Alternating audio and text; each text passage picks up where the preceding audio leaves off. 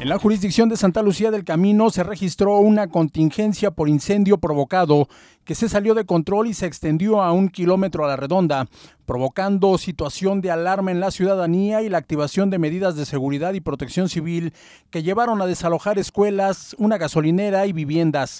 Está terminando de enfriar todo lo que nos pudiera, causar este riesgo de que reavivara. Se está terminando de enfriar.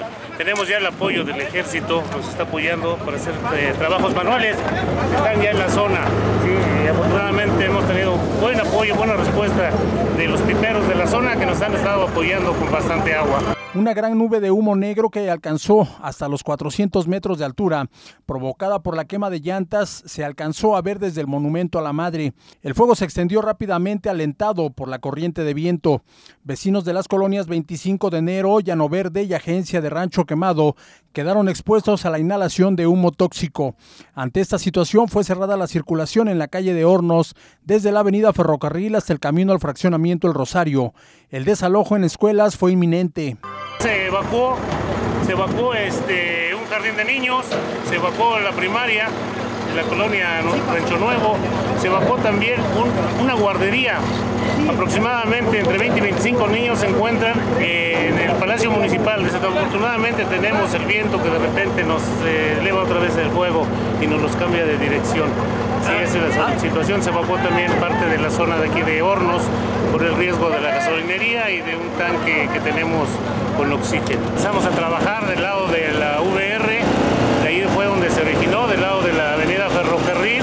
Al parecer un señor estaba quemando su, basura en un taller mecánico, le ganó y avanzó a un tiradero que tenía Santa Lucía, que tuvo alguna vez el municipio donde se almacenaron basura y llantas, que eso fue lo que nos causó el humo negro que alarmó a la población.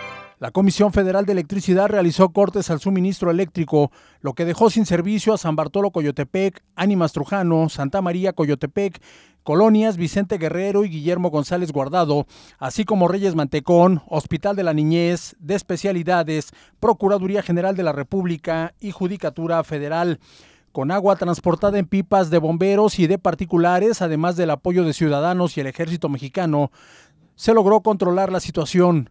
Es importante tomar precauciones, pues el frío extremo, aunado a la temporada de sequía y calor, son factores que pueden facilitar incendios.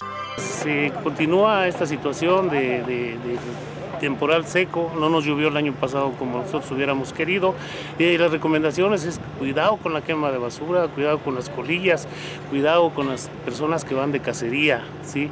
Por favor, mucho riesgo para no originar un incendio, ¿no? Tenemos en el interior del estado algunos incendios que se nos han dado.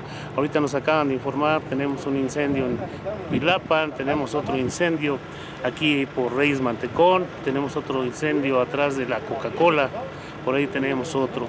Nos estaban informando de otro que estaba en las riberas de la Toyaca. Afortunadamente ya hay personal atacándolo, combatiéndolo.